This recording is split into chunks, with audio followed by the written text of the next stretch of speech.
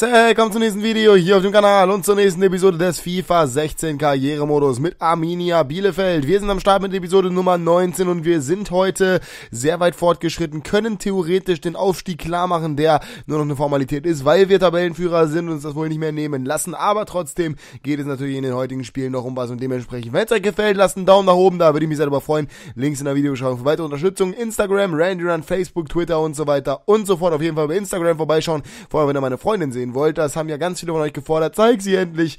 Da könnt ihr vorbeischauen und dann könnt ihr sie sehen. So, wir spielen in der ersten Partie gegen den FSV Frankfurt und soweit ich mich recht erinnere, können wir damit klar machen, dass wir den Direktaufstieg klar machen. Er gibt jetzt irgendwie nicht so wirklich Sinn, aber ich meine damit, wenn wir das Ding jetzt gewinnen, haben wir genug Punkte Vorsprung, sodass uns niemand mehr einholen kann. Also zumindest nicht so, dass wir noch Dritter werden. Was effektiv heißt, wir müssen nicht in eine Relegation. Was effektiv heißt, ja, wir sind aufgestiegen und scheitern nicht an Hamburg. Was ja ganz schön ist. Das Ding ist, wir haben nicht die absolute Bestbesetzung, allerdings ist das auch an sich nicht so schlimm, weil wir halt nur noch gegen Frankfurt spielen. Wenn wir jetzt irgendwie gegen, keine Ahnung, Lautern spielen würden oder gegen Leipzig, gut, aber wir spielen dann nur mal gegen Frankfurt und die sind ähm, respektive nicht so geil in FIFA. Und in Realität sowieso nicht. Von daher relativ easy. Iheanacho ist wieder fit, der darf also wieder mit von der Partie sein, steht äh, direkt mal im Kader. Ich glaube sogar, ich äh, packe ihn in die Startelf, bin mir gar nicht sicher, Klos auf die 10 oder irgendwie sowas. Weiß ich nicht. Auf jeden Fall kommt Iheanacho, unser Nigerianer, in die Startelf. Genau, äh, Afana geht auf die 10, Mast auf links. So werden wir spielen. Ich wünsche euch viel Spaß und wir sehen uns gleich wieder. Arminia Bielefeld zu Gast beim FSV Frankfurt 1899. Die DSC, die Arminen, haben den Aufstieg so gut wie in der Tasche. Heute geht's um die Formalität, das Ganze nochmal klar zu machen und genau das ist natürlich das Ziel von MGT und seiner Mannschaft, die Ostwestfalen, mit vielen mitgereisten Fans nach Frankfurt gekommen und wir sehen auf der Tabelle momentan 10 Punkte Vorsprung und das bei für Bielefeld zumindest noch 5 bleibenden Spielen. Wenn sie jetzt gewinnen, haben sie 13 Punkte Vorsprung. Das durch 4 geht nicht mehr mehr geteilt, zumindest nicht in drei aufteilbar, beziehungsweise mehr als drei. Dementsprechend hätten sie ja die Relegation, beziehungsweise wären der Relegation ausgewichen und hätten den Direktaufstieg geschafft. 14 Gegentore bisher, genau das ist das Geheimnis der Arminia, der bisherige zweite Bundesliga-Rekord vom ersten FC Köln aus der Saison 2013-2014 waren 20 Gegentore. Momentan sieht es so, als ob die Arminia den unterbieten sollte. Frankfurt mit Weiß Tor davor, Huber, Guganik, Umari, Bitroff, Kruska, Perdedei. Natürlich noch mit zusammen mit Engels, Haisavi, Shahin und Dedic in der Sturmspitze. Der ehemalige Bochumer, der ehemalige Mainzer, die ehemaligen ja, Bundesliga-Stürmer spielten da vorne zusammen drin und sollten dafür sorgen, dass Bielefeld eventuell den Rekord doch nicht bekommt. Auf der anderen Seite war Kilecci Iheanacho zurück in die Startelf gekehrt und durfte neben Melvin Lorenzen anfangen. Ansonsten keine großen Überraschungen. Der verletzte Gold war mehr von der Partie dafür spielte Afane auf der 10. Wir springen rein in die erste Szene der Partie. Das ist Ihanacho mit Lorenz im Zusammenspiel und der Ball auf Dennis der mit der Flanke und der Nigerianer versucht mal mit dem Kopfball ja, da waren gerade mal drei Minuten gespielt. Das war noch nicht gefährlich, aber es zeigte, ja, dass Jamina sich nicht versteckt und dass sie tatsächlich diese drei Punkte wollte, um den Aufstieg äh, zu sichern. Der Ball auf Lorenzen gespielt von Afana, 18 Minuten durch 1 zu 0. Die Entscheidung, Fragezeichen. Wir werden es im Laufe der Partie noch feststellen. Der deutsche Engländer endlich mal wieder mit einer Bude. 13. Saisontor für Melvin Lorenzen. Der ehemalige Bremer macht hier das Ganze eiskalt erfahren der Schwede mit einer super Vorlage. Davor die gute Balleroberung im Mittelfeld. Und dann ist er einfach zu schnell für die Defensive der Frankfurter. Einmal durchgesteckt. Gute Ballmitnahme von Lorenzen. Und der Abschluss ist dann trocken. Keine Chance, diesen Ball irgendwie zu halten. Dementsprechend 1 zu 0. Frankfurt versuchte zurückzukommen. Allerdings funktionierte das nicht so wirklich. Das ist hier mal Engels mit der Flanke auf Slatko Dedic am zweiten Pfosten. Den hätte man durchaus mal machen können. Aber so wird das erstmal nicht. So bleibt es beim 0 zu 1. Ging weiter mit der Arminia. Das ist Schuppan auf Tim Diersen. Und der hat die Idee nochmal zurückzuspielen auf Dick. Die spielten allgemein wie eine Handballmannschaft in den Strafraum rum selten rein und wenn sie dann reinkam, dann war es meistens gefährlich. Hier die Flanke allerdings abgewehrt. Der Ball kommt nochmal zu Ihea Nacho, der setzt sich dann da durch und wird gefoult an der 16er Kante. Es gibt den Freistoß vollkommen zurecht in der 36. Minute und das ist eine super Position für einen Linksfuß, ist eine super Position für den Freistoßspezialisten. Amina Fahne, gerade schon gesehen, die Vorlage des Schweden.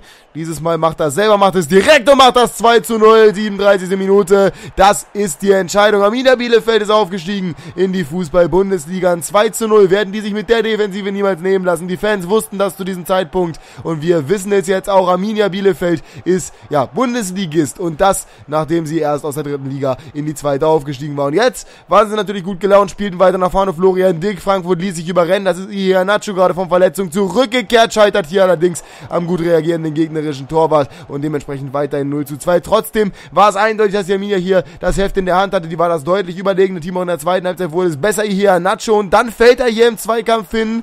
Weiß hat den Ball, spielt ihn nach vorne, der Abstoß wird dann aber abgepfiffen, denn Ihanacho bleibt verletzt am Boden liegen. Der Nigerianer musste ausgewechselt werden. Klos haben für ihn die Partie. Er wird allerdings nicht so lange ausfallen. Wenn Frankfurt nach vorne kam, sah das ungefähr so aus. Relativ ungefährlich. Und die Arminia wusste zu kontern, dass es Erfahrene mit dem Ball auf den eingewechselten Fabian Klos, ehemaliger Kapitän, setzt sich hier erstmal durch gegen Guganik. Dann kommt noch, ja, Huber, Huber dazu. Auch der wird stehen gelassen. Der war auf Tim Diersen und der mit dem Pass. Allerdings das Ganze abgefangen. Und dementsprechend ja, war das Spiel blätterte die Partie so ein bisschen vor sich hin. Dedic ging dann raus, Edmund Kablani kam in die Partie. Allerdings brachte das nicht wirklich was. Oder etwa doch? Wir sagen es mal so, Frankfurt versuchte plötzlich mehr, sie kamen besser nach vorne und sie hatten tatsächlich ihre erste richtige Torchance. Vorher hätte Bielefeld aber alles klar machen können. Der Ball auf Tim Diersen in der 79. Minute und der ehemalige Hannoveraner mit dem Schussversuch. Aber wieder eine gute Parade von André Weiß, der seine Mannschaft hier in gewisser Weise noch im Spiel hält. Die Flanken kommt dann nochmal in die Mitte, aber Lorenzen kommt nicht an den Kopfball ran. Wieder ist Weiß da. Fällt dann noch hin, äh, ja, unglücklich durch den Deutsch-Engländer. Allerdings natürlich kein Foul. Nicht abgepfiffen, es ging weiter auf der anderen Seite. Wie gesagt, Kaplani eingewechselt und sie versuchten es mit Kaplani, der verzieht, aber das war die erste vernünftige Chance der Frankfurter in der 87. Minute. Das zeigt, wie die Partie aufgebaut war. Dann mal Umari mit dem Ball auf Engels nochmal Umari frei vorm Tor und er verzieht ebenfalls mit links. Ja, knapp am Pfosten vorbei. Hesel muss nicht eingreifen. Dann nochmal eine Konterchance für die Arminia. Das ist Christopher Nöte in der 90. Minute. Geht alleine aufs Tor zu. Macht er das 3 zu 0. Macht er die Entscheidung. Die ist längst gefallen. Es stand nämlich schon 2 zu 0. Und das war die dritte Minute der Nachspielzeit und die letzte Aktion der Partie. Die Arminia ist aufgestiegen in die erste Fußball-Bundesliga und das direkt ohne Relegation in den letzten beiden Jahren. Ja, der Zweitligist gescheitert war, beziehungsweise bisher fast immer der Zweitligist gescheitert ist. Da müssen sie nicht rein. Sie marschieren direkt durch und das vor allem wegen der besten Defensive der Liga, die auch heute wieder perfekt gestanden hatte. Null Gegentore in dieser Partie. Null Gegentore, nicht insgesamt, aber nur 14 bis zu diesem Zeitpunkt. Und es sieht so, als ob sie den Rekord vom ersten FC Köln brechen sollten. Frankfurt hingegen war über die gesamte Spielzeit zu Tor ungefährlich. Erst am Ende gab es mal zwei Chancen, aber das reicht nun mal nicht gegen den ja, neuen Erstligisten Amina Bielefeld, die 2 zu 0 gewinnen. So, Freunde, wir sind aufgestiegen. Hier, wir sind in der ersten Bundesliga. Das ist doch mal wunderschön. Und jetzt haben wir in der nächsten Partie doch durchaus noch die Chance, ja, die Meisterschaft in der zweiten Bundesliga klar zu machen. Das wollen wir natürlich erreichen.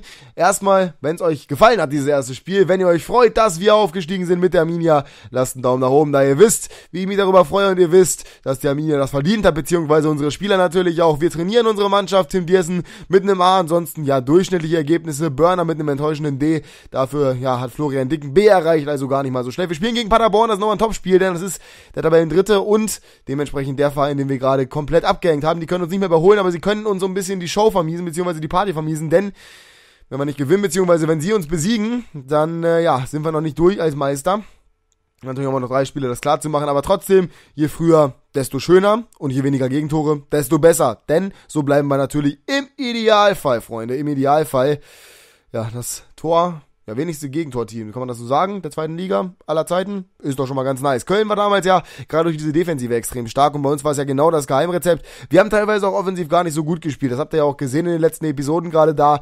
Ja, hat's ab und zu mal ein bisschen gehapert an der Kreativität, aber im Endeffekt reicht es dann nun mal einfach, weil wir, naja, mit unserer Defensive so gut stehen und dann im Endeffekt Melvin Lorenzen haben, der 13 Songtore hat, Nia Nacho haben, der jetzt bereits, glaube ich, zwei hat nach seinem Wechsel, obwohl er verletzt war und jetzt wieder angeschlagen ist.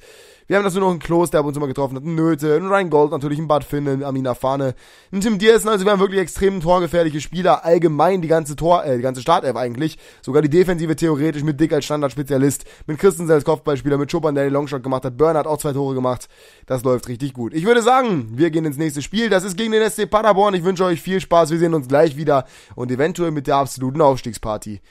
Ja, wird auch schön. Bis gleich.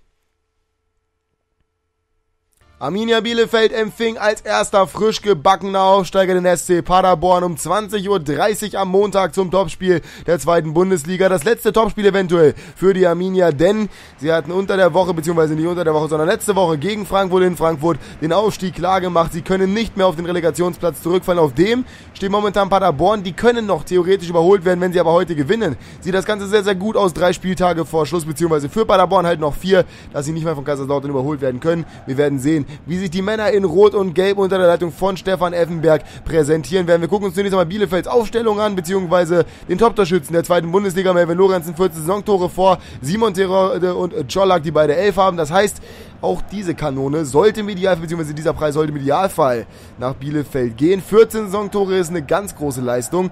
Wenn man bedenkt, dass die 14 Gegentore kassiert haben, ist das noch krasser. Hesel im Tor davor Dick, Sundberg, Börner und Burmeister Christensen. Normalerweise Innenverteidiger spielt heute auf der 6. Schubbern war nicht dabei, deswegen spielte Burmeister links. Sundberg rückt in Innenverteidigung. Diersen war auch nicht dabei, dementsprechend spielte Christensen auf der 6. Vorne hatte sich nicht viel geändert, abgesehen davon, dass natürlich Ianatsch aus einer kleinen Verletzung aus dem Spiel gegen Frankfurt ausfiel. Dafür stand ja Christopher Nöth in der Start. Aber auf der anderen Seite Lukas Kruse in der Verteidigung Heinloth, Hohneder, Raffa und Harderherz auf der 6. Backerlotz und Kirch davor. Stoppelkamp, Stolperkamp, Kevin Stöger, Süleyman Kotsch und Mahir Salik als alleinige Spitze vorne drin. Wolfgang Esel, der beste Torwart der Zweitliga-Historie bis zu diesem Zeitpunkt. Er wollte natürlich heute auch wieder beweisen, warum er das war und er sollte die Chance bekommen. Steffen Schwurbel, der Schiedsrichter der Partie, pfiff das Ganze dann an und die Arminia legte richtig gut los in dieser Partie. Sie hatten die erste Gelegenheit und zwar nach gerade mal 13 Minuten. Das ist Dennis Mast mit der Flanke in die Mitte und da steht Amina Fahne.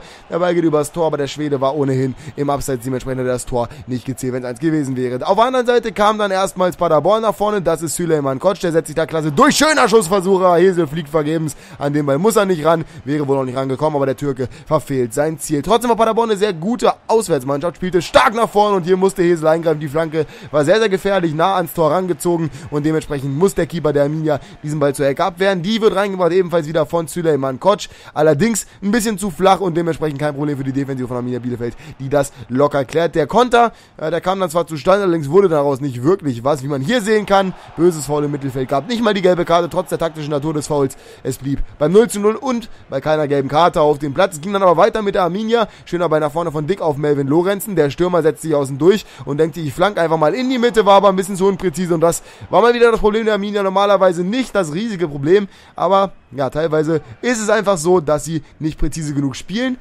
Dann kam allerdings, beziehungsweise dann ging es plötzlich ganz schnell. Wir haben gesehen, die Ecke abgefangen von Hesel, der Ball nach vorne auf Melvin Lorenzen und der ist schneller als Rafa und der ist schneller als die meisten Spieler der zweiten Bundesliga. Nöte in der Mitte komplett frei, komplett alleine gelassen, niemand mitgegangen. 1 zu 0, 45. Spielminute, die Nachspielzeit der ersten Halbzeit und die Arminia führt mal wieder und das Natürlich nicht unverdient, aber doch relativ überraschend, denn bis zu diesem Zeitpunkt hatten sie nicht wirklich Chancen, die besseren Chancen auf Seiten von Paderborn. Und die werden eiskalt ausgekontert, klasse gemacht von Lorenzen, behält die Übersicht. Und im Endeffekt ist Nöte einfach alleine, weil sein Mitspieler Baccalords nicht mitgeht. Und dann hat natürlich auch Lukas Kruse keine Chance mehr. 1 zu 0 für Arminia Bielefeld. Und es sieht so aus, als ob sie die Zweitligameisterschaft klar machen würden. Zweite Halbzeit, sie waren beflügelt, Lorenzen versucht hier, der Schussversuch aber eher kläglich, dementsprechend weiterhin 0 zu 1 aus Sicht von Paderborn. Sie blieben also dran, sie hätten die Möglichkeit den Ausgleich zu machen, aber wann trifft man schon mal gegen Bielefeld? Wenn, dann treffen die eher Christopher Nöte, kriegt den Ball nochmal, flankt auf den zweiten Pfosten, aber da kommt niemand so wirklich ran und im Endeffekt ist Kruse da. Da sieht man wieder, die Präzision war wirklich nur in einer Situation da. Sie versuchten es aber immerhin nach vorne, während Paderborn die Angriffsbemühungen mehr oder weniger einstellte, beziehungsweise nicht mehr nach vorne kam. Schöner Versuch dann nochmal